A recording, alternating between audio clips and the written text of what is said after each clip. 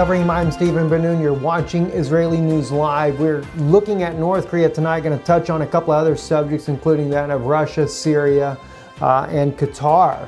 Uh, some very odd things happening over in Qatar, according to uh, Lorenzo, and already happened. But let's go over here to North Korea real quick. RT is reporting North Korea threatens to strike New York in response to a five month old Trump tweet. I mean, you've got to be kidding me.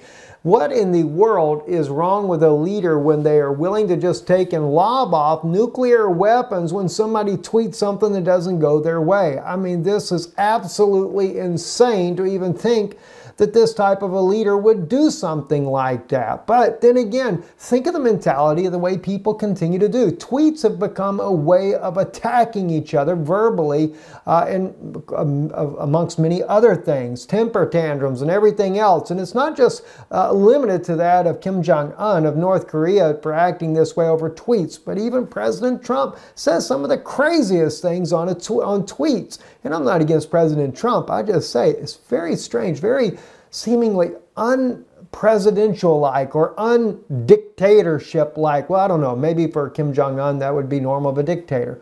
Who really knows? It's just not normal. But anyway, maybe uh, making ready for the threats because here we have on uh, 38north.org, they are coming out today saying North Korea uh, Punggye-ri nuclear test site media report of incident intensified activity cannot be corroborated, but they are saying that North Korea is getting ready to do something there on their nuclear test site there. It says intensified activity of uh, Punji uh, nuclear test site, indicating Pyongyang may be preparing a sixth nuclear test, which is warned last month was imminent, and that the preparations near the Punggye-ri site match those of the past occasions before North Korea conducted a nuclear test.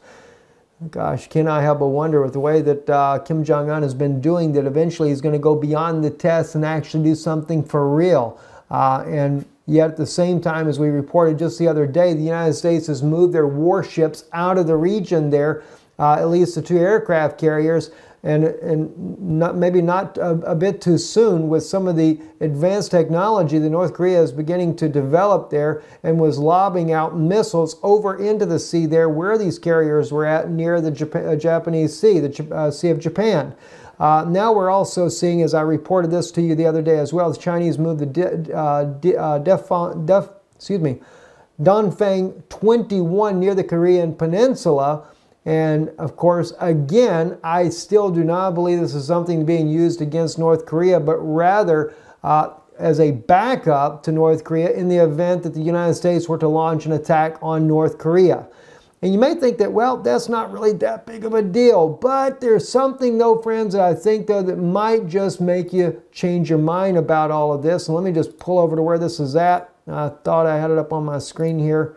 Oh, gosh, what did I do with this? Um, wanted to share with you something here that uh, President Trump had to say. Here we go, right here excuse me, President Putin. That is President Putin uh, recently. Uh, part, one of the one of the comments that he makes here in the interview with uh, uh, Mr. Stone here was very insightful. There, he's speaking to Oliver Stone about the Caucasus and how that the United States has been actively participating in trying to destabilize Russia.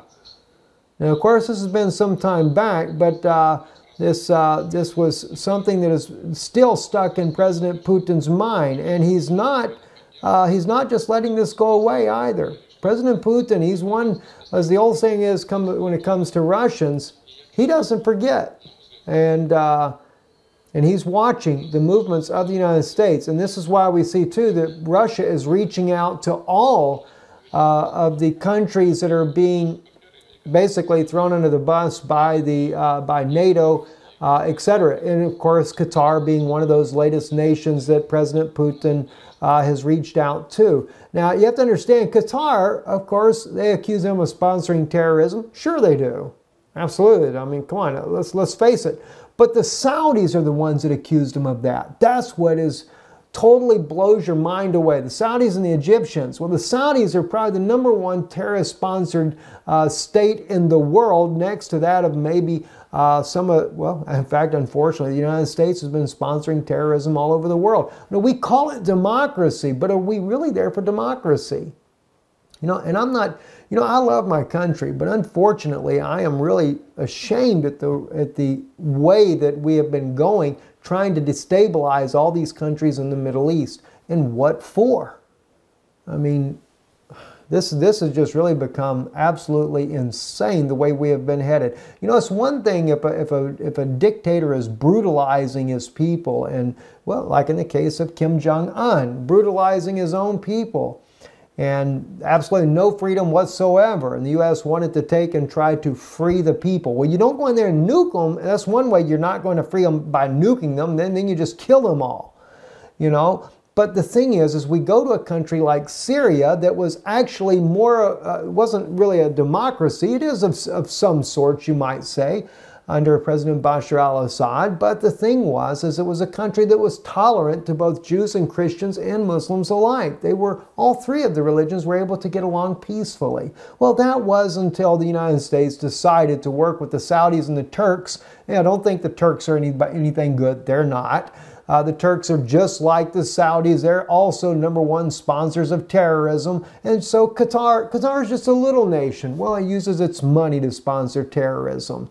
And yeah, Russia has turned a helping hand towards Qatar because they have been ousted from the family, you might say. Uh, well, speaking of Qatar, though, got a big issue going on in Qatar. Already happened on their website there uh, shared this video right here on his website. This was actually uh, allegedly a very large military convoy, a Qatarian military convoy that has just returned back from the border of the, of the Saudi border. No really, no reasoning for this, why they were returning from the Saudi border. Uh, no one is really saying anything about this other than the fact that this is the Qatarian military that, is, uh, that has left the Saudi border.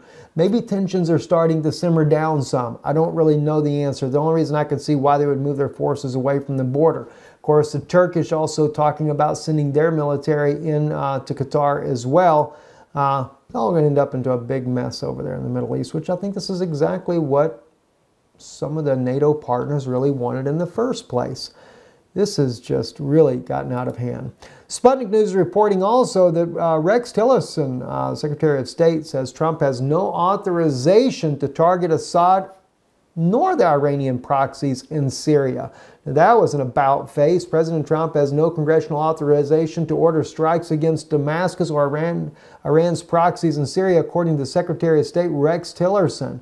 President Donald Trump has no congressional authorization, he says. I would agree with that, Tillerson said when asked if there was uh, no legal authorization from Congress to target Syrian President Bashar Assad or Iranian proxies.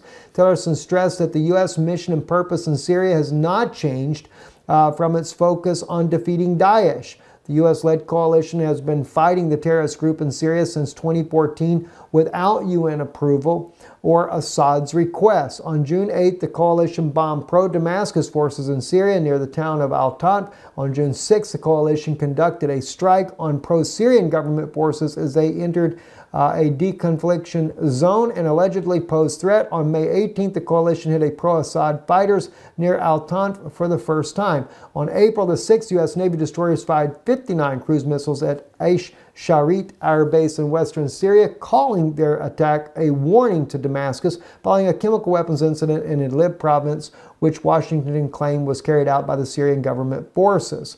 Uh, and of course, we can go on and on and on. I'll put a link to uh, Sputnik's uh, report in here. But the U.S. has targeted the Syrian government on multiple occasions, not to mention the fact that the U.S. government uh, has aided and funded all the different groups that are fighting against President Bashar al Assad in the first place. So, if you really don't have any authorization to go after Assad in Damascus, then isn't it still, still considered an accessory uh, to the crime by arming all the terrorists that are fighting against the government to overthrow the government. And according to the uh, Syrian reports and Russian reports, 35 nationalities are fighting inside of Syria.